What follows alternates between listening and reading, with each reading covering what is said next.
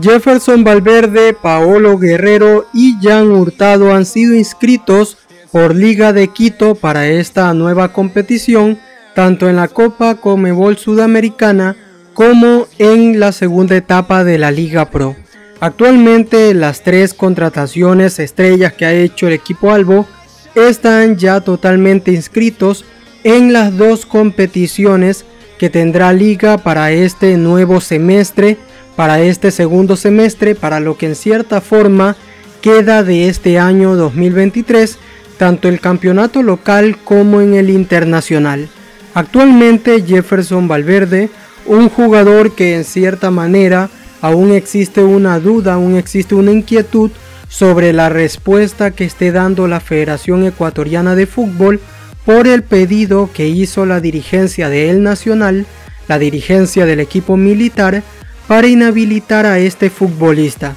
Se está esperando esa decisión, esa resolución del caso por parte de la Federación Ecuatoriana, mientras que por otro lado en el caso de Paolo Guerrero, un futbolista que actualmente viene siendo dentro de los tres la máxima figura que ha llegado para esta segunda etapa dentro de todas las contrataciones que se han hecho en el fútbol ecuatoriano. De hecho, en su primer partido amistoso ya debutando con la camiseta de liga en un partido, bueno, amistoso aún no titular, ya marcó su primer gol, un gol de cabeza,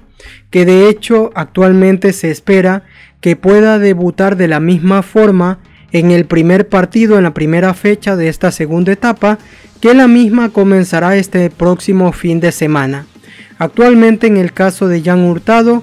confirmado dentro de todas las contrataciones, un futbolista que se hizo esperar, de hecho hasta último minuto, hizo por palabras del mismo máximo directivo de liga, hizo prácticamente correr a todos los directivos con los papeleos para llegar a tiempo con su inscripción. Actualmente Jan Hurtado llega y si bien es cierto fue la segunda opción ya que su compatriota venezolano Salomón Roldón era la primera oferta, la primera opción que tenían los directivos y el plan B luego del no por parte de Salomón Rondón se hizo a llevar a cabo más que nada la opción de Jan Hurtado, la misma que se terminó confirmando hace unos días.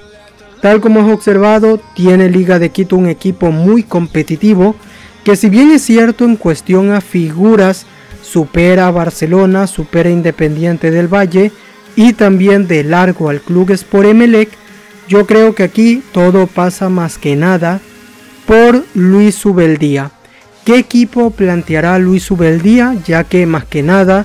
las figuras no lo son todo. Aquí la realidad es que todo pasa más que nada